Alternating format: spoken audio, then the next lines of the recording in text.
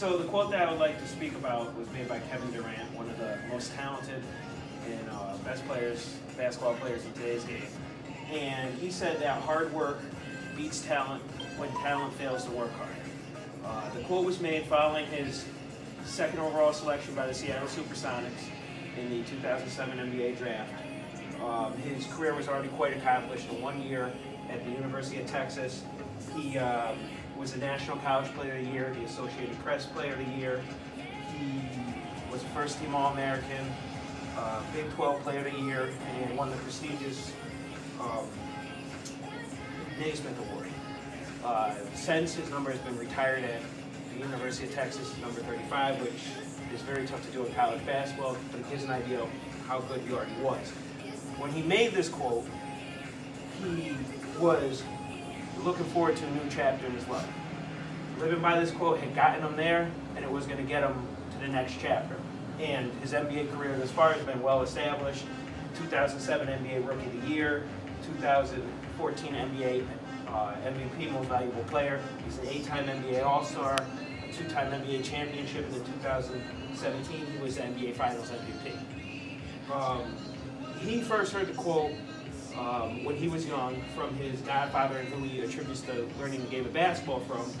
And an interesting story is prior to an AAU tournament in Charlotte, he made him write the quote on uh, four sheets of paper, front and backwards. And since then, it stuck with him.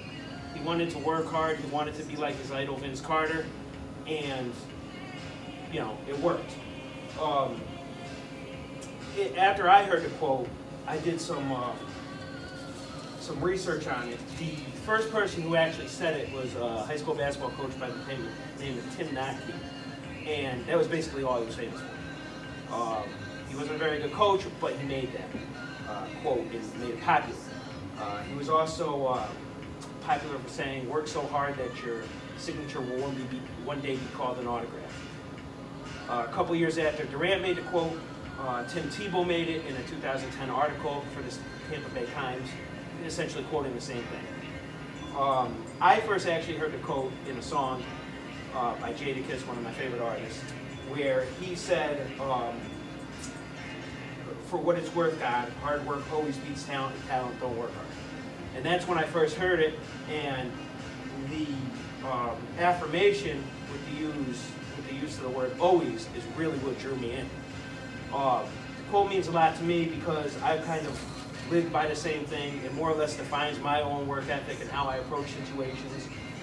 Um, and similar to what Durant, it's become a personal creed for me. Um, when I was trying to pick which quote I was going to do, there's another quote made by Michael Jordan that says, I can accept failure, but what I cannot accept is not to try.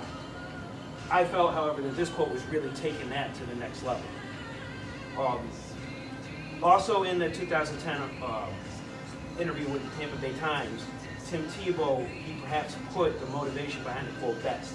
He said, every day I'm trying to go out there and outwork everybody else. It doesn't matter if you're more talented or more blessed than me. I'm going to outwork you every day of the week. And to me, that's really the essence of the quote.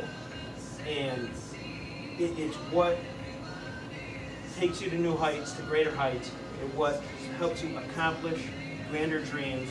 It's really about accomplishing the impossible.